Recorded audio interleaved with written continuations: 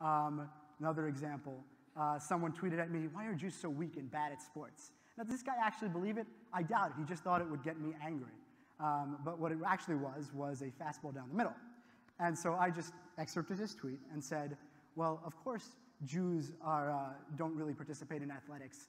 That's what we use to divert the energy of the Gentiles while we take over the systems of power.